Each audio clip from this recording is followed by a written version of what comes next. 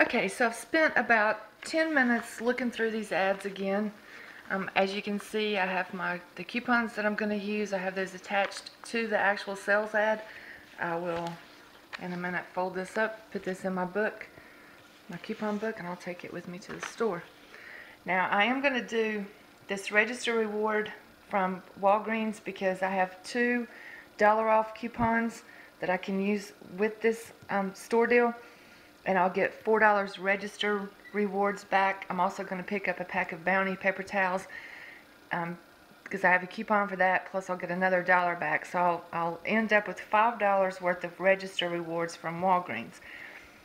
Now the only way to make that work is my second trip into the store after I make the first trip, I get the register rewards, I take all that out to the car, I will come back to the store, or go back in the store rather, and I'm going to submit these to, um, to the cashier.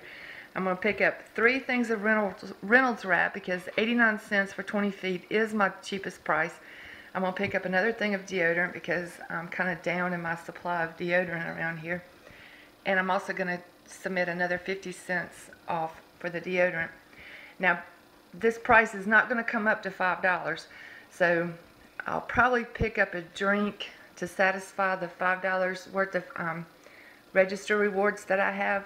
And based on my math, I'll come out owing like a dollar, but I'll need a drink by the time I do this. I also jot things down like this. This is my first trip in. This keeps me on track.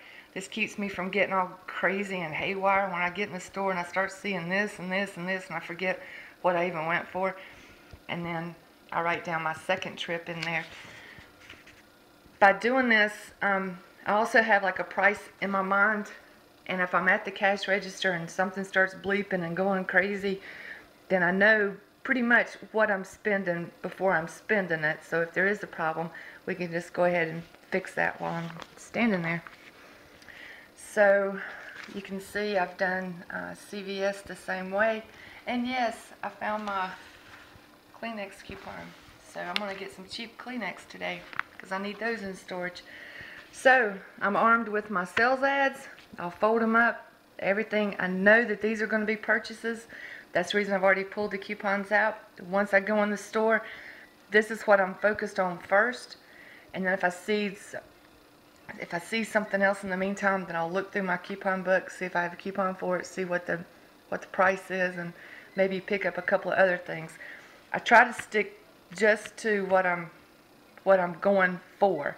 But occasionally, you know, if you run across a good deal, then pick it up while you're there. All right.